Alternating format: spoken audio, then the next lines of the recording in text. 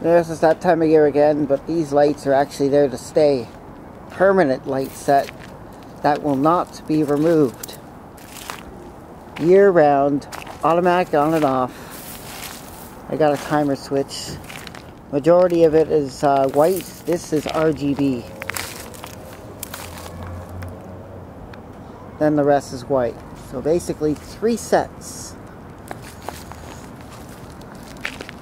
Three light sets in total. Pretty much speaks for itself.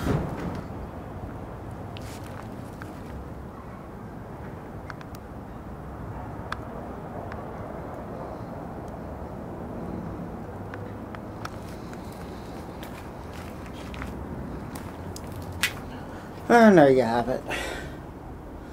Simple as that.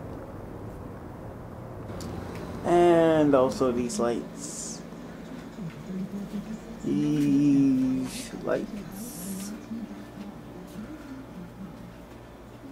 Along with that, a key, a key lamp that was on the ceiling that I made myself.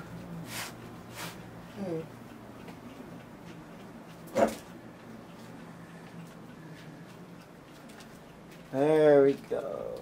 All conveniently plugged in. And what it looks like from the outside, or from the inside. Very, very, very, very bright. And surprising.